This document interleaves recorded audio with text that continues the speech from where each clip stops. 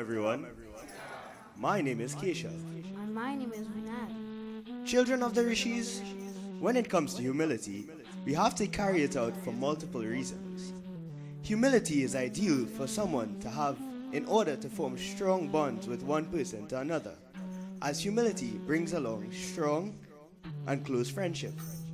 For example, if there was a person, Ritesh, who would boast about the smallest achievements and gloat about their wealthiness, and a person, Aryan, who would achieve greatness and high skill sets, but still stay humble about his talents, who would you rather have as a friend? Humility should also be practiced in order to forgive. Without humility, it would be impossible to forgive someone, as they will be too egotistical to do so. As you may know, in the Isha Foundation, leadership is a large part of our foundation when it comes to the youths.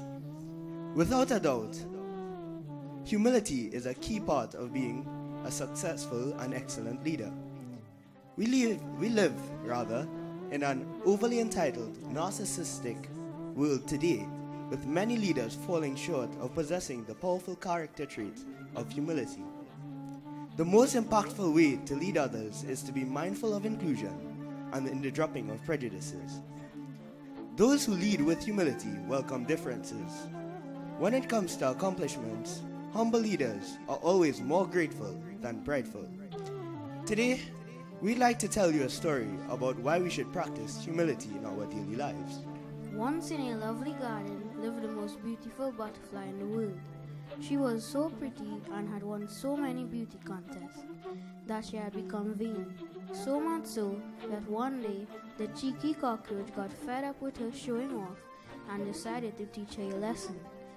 She went to see the butterfly, and in front of everyone, she told her that she wasn't really that beautiful, and that if the butterfly won contest, it was because jury had been bribed. In reality, the cockroach was the most beautiful.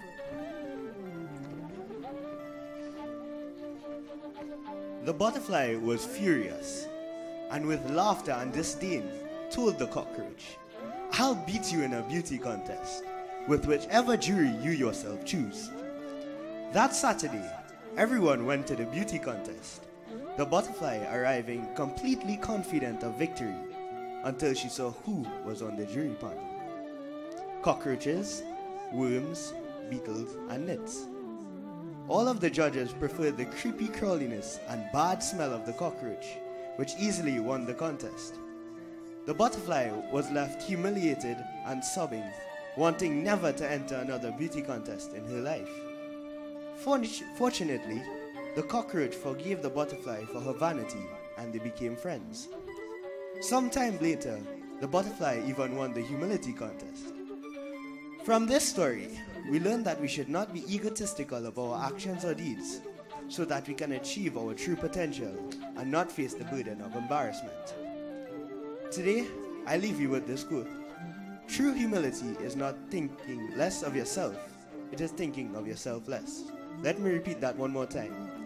True humility is not thinking less of yourself, it is thinking of yourself less. Thank you, Sitaram.